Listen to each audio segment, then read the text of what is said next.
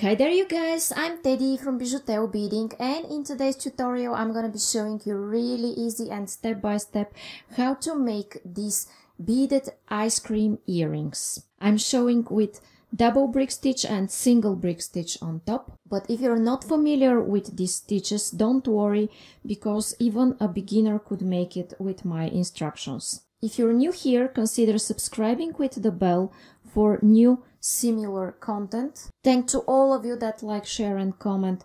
This is a great and amazing support and I can't thank you enough guys for these actions. Check description for a full list of materials, other useful resources, a Facebook page where you could share your beautiful designs that you did following my tutorials. And you might also want to support me in PayPal or by becoming a member because the last one comes with perks that you could check in description. Now let's start with the list of the materials. Okay guys, so what I'm using here for this video are four colors of 11 seed beads and they are this beige color, red, yellow and turquoise. Here I'm using earring findings. This is Nymo nylon thread that is 0.3 millimeters or size D. This is size 10 beading needle and scissors. And now I'm going to take about an arm span of thread on my needle and I'll be back. Okay guys, and I'm starting the bottom part of my earrings with four beige seed beads. I'm sliding those down and I will make here the so-called double brick stitch. If you're not familiar with the brick stitches at all or with the double one, don't worry because I'm showing it in this way so a beginner could make it. Okay, and now as I'm exiting from these two beads, I go in the other two beads and either arrange them next to each other like in two small columns. Okay, this is what I have. And the holes I are pointing in this direction as you may see. In my next step, I want to take three beige seed beads. And I'm going here in the other two. Okay.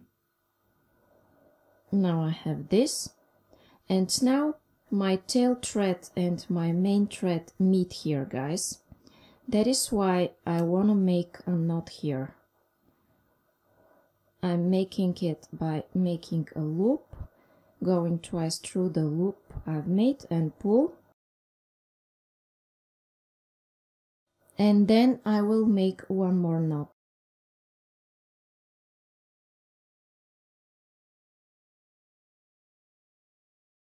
Now I have my work really secured. Now what I want to do is go through one of those beads and exit backwards through the other one. Okay. In my next step guys, I'm taking again four beige seed beads and as I'm exiting from one of those beads I'm going here under this thread bridge between the two beads. You see where I go and I pull. Then I go backwards through those beads that are closer to the center of my work.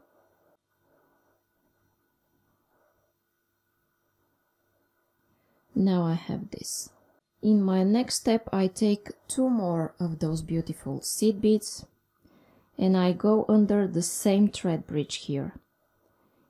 It's not visible anymore but I will go like this.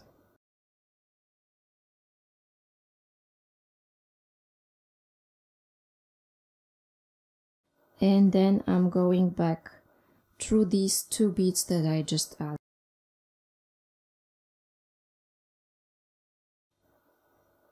And now you could cut this tail thread here.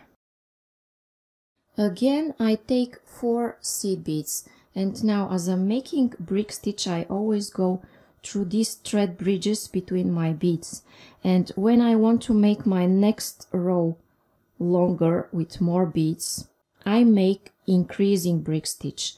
And in this case as I take my beads I go under the first thread bridge here. Okay. Just follow the steps and everything will be okay.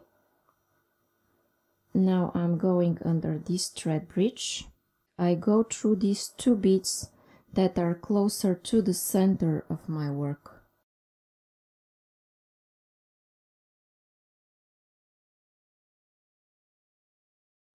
and I have this. Then again,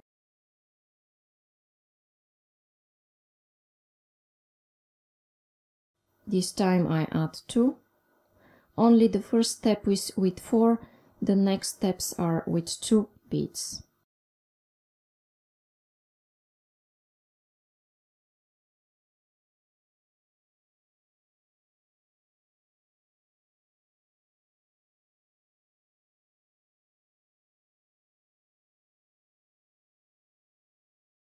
Okay? And you see here I have two columns of two. In the next step I have three columns of two.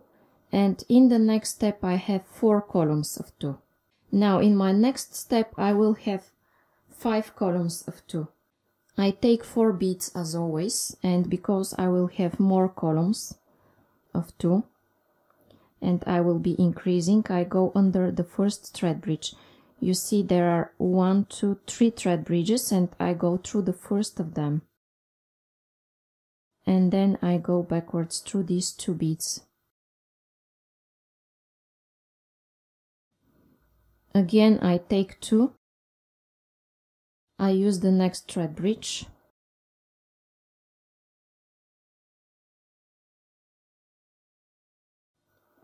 Two I use the next thread bridge.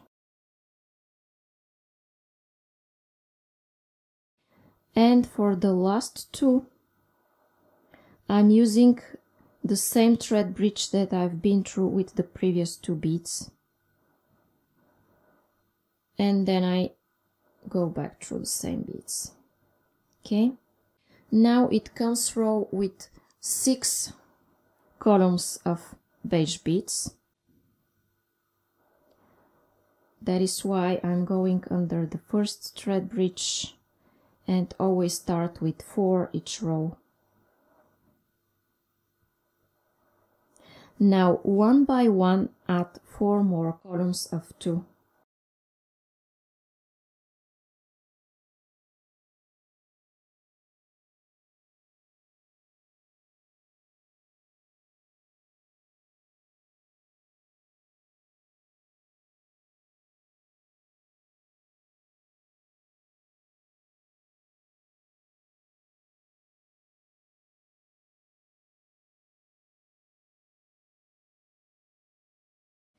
Okay guys, and here at the last row, I'm going under the same thread bridge that I've been through with the previous two beads, as I did before. And then I go backwards through these same two beads.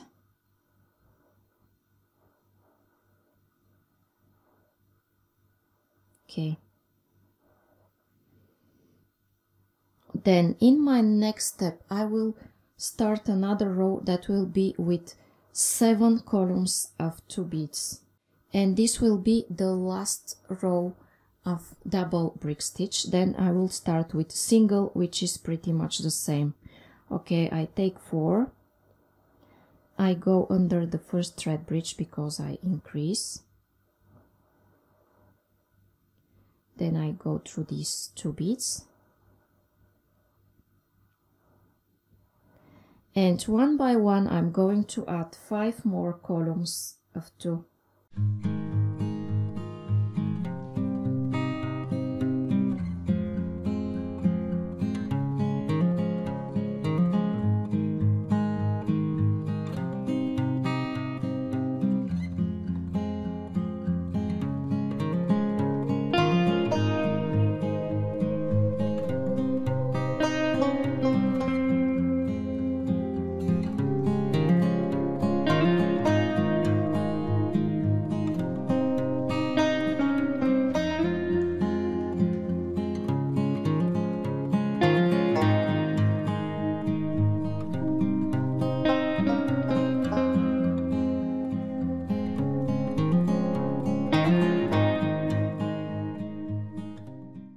Okay and now I have seven columns of two. And what I want to do next guys is start the top part of my ice cream which are the balls and in order to do this I will continue with a single brick stitch. And this time when I start a row and this will be also an increasing row I started with two beads instead of four this is the only difference between double and single. Here I use half the beads. Okay, so I go under the first thread bridge again, then I go through the one that is closer to the center of my work. You see how similar it is. Then what I want to do is to go here at the end and add one more turquoise bead or mint bead. If it's ice cream, it should be called probably mint color. Then I'm going backwards through this one. And again here. And here.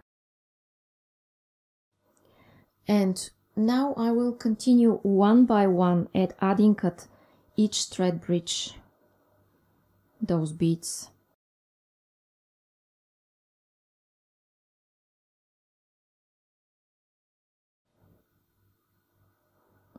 I'm adding two more turquoise beads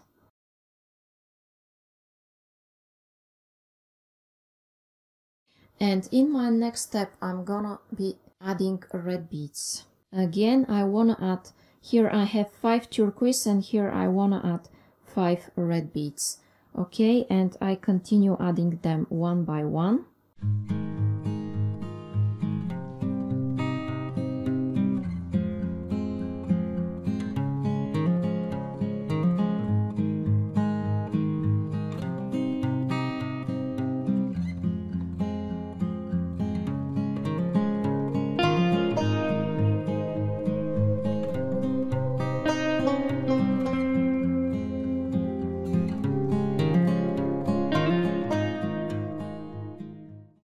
okay and here I need to add 5 beads but I'm out of thread bridges.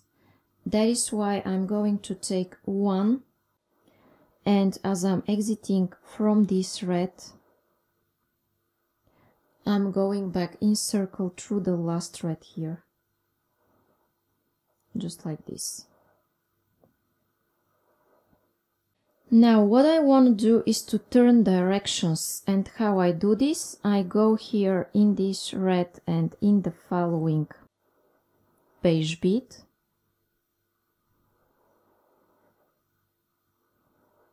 then I go in the neighbor beige.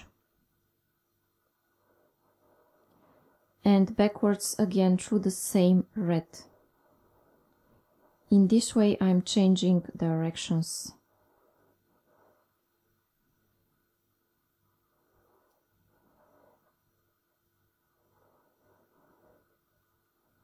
because what I want to achieve is to exit from this final beat and in this direction.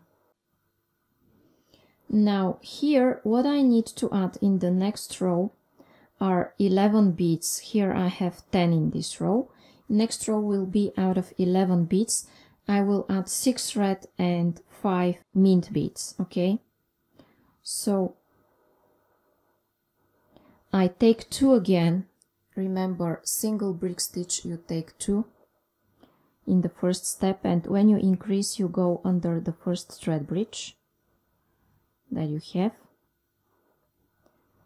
and go like this through the one that is closer to the center. Now add four more red beads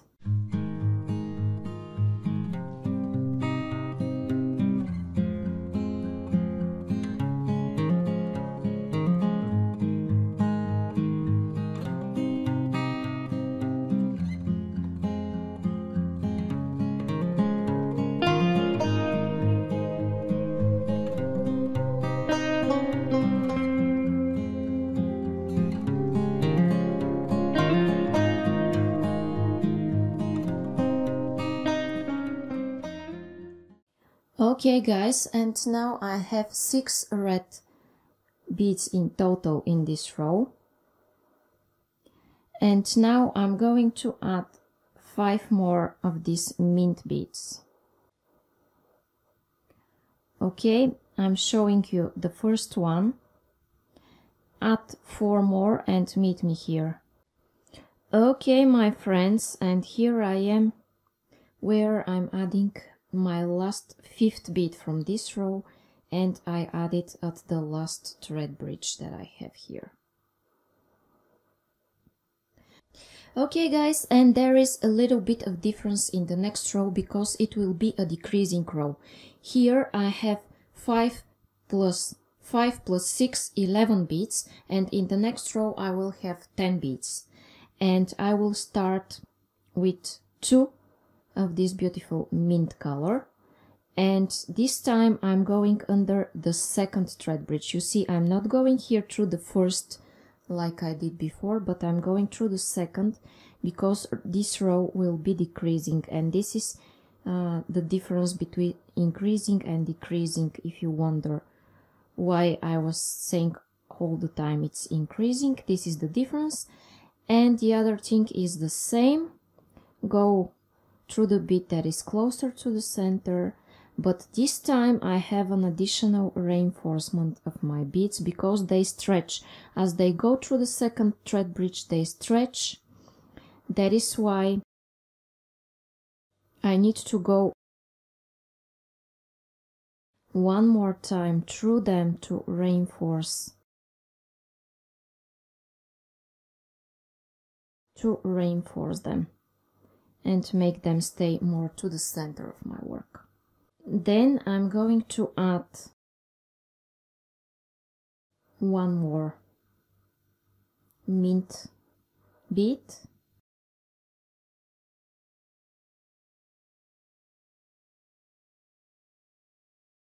After that, three yellows and four red beads.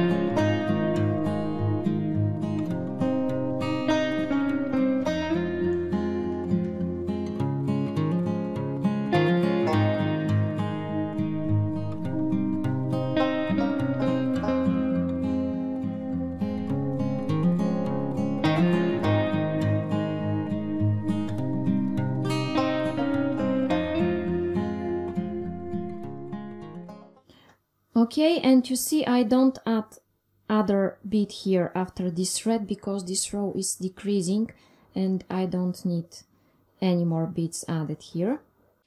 And now I'm going to add three red four yellows and two mint. Again decreasing row that is why I'm going under the second thread bridge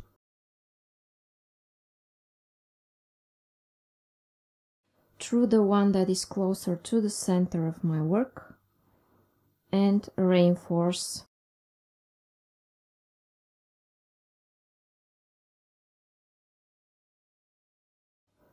then it comes one more red.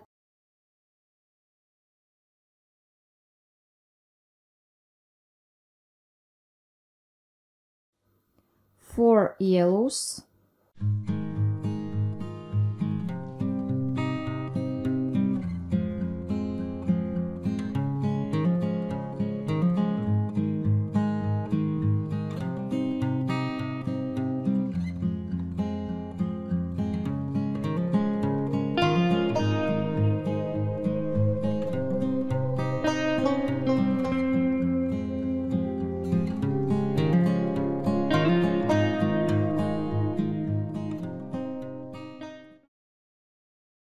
and two mint beads.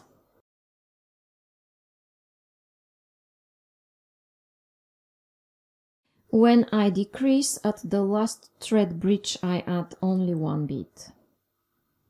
this is another difference. Although I could increase from one side and decrease from the other. In my next row I need one mint, five yellow beads and two red beads. And I start with a mint and a yellow because I want one mint and then yellows. And again I go under the second thread bridge.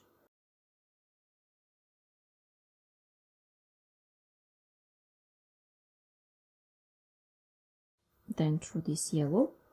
And four more yellows one by one in order to have five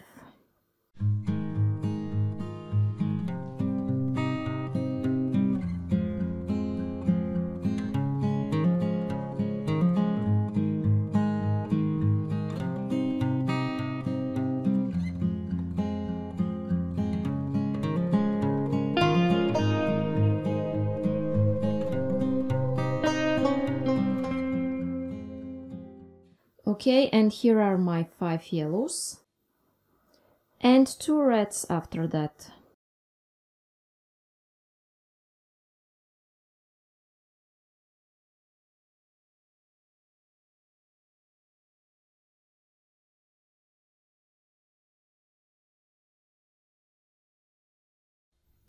Okay guys, and as I'm exiting from this red in this direction, I wanna, reposition my thread so I exit in the neighbor red, the second thread, again in this direction. And how could I do this? I go here through this one and through the following like this diagonally. I want to do this without thread showing between my beads, okay? So as I go here diagonally, I go in the neighbor one and I go again diagonally here.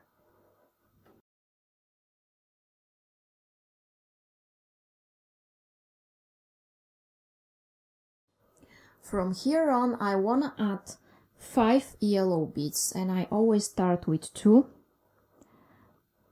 I go again so here is the first thread bridge and I go through the second one, counting from the beat where I am now. And I reinforce again.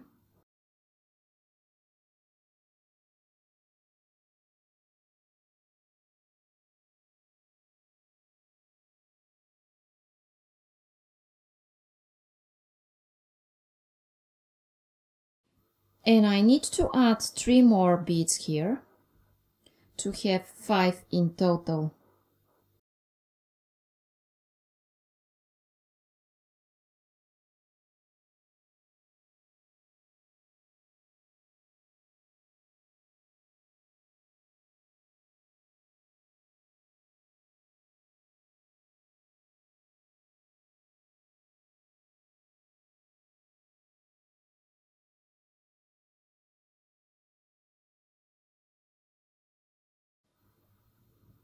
Then a decreasing row of 4 beads, which means I take 2 and I go under the second thread bridge.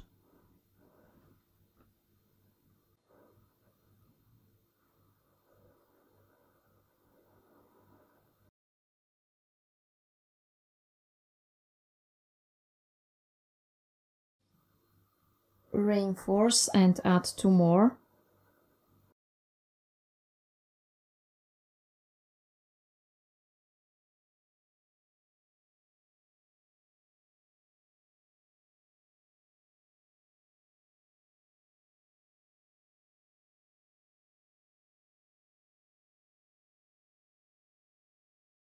decreasing row with 3 beads it's the same take 2 and go under the second thread bridge and reinforce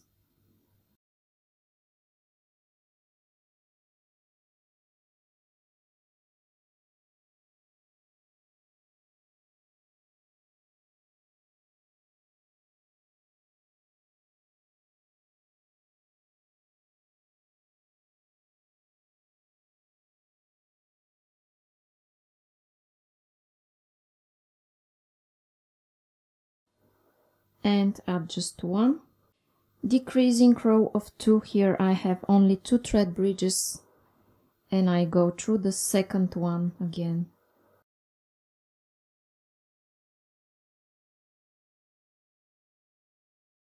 And I reinforce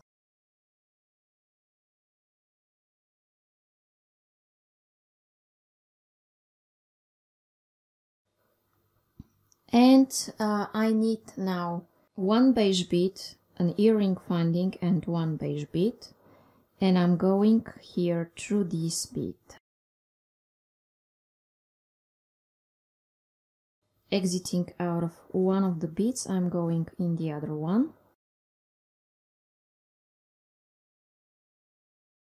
And I want to make a reinforcement again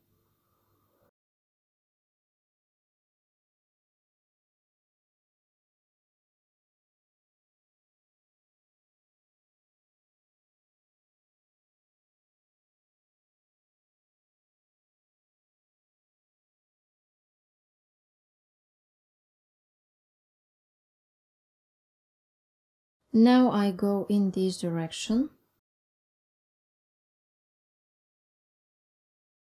Now if you don't like the edges of your work, you could go around and reinforce them.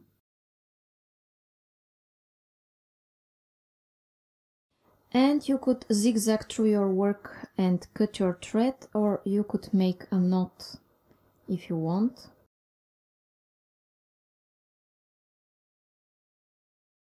With a loop and two times going through it, pulling,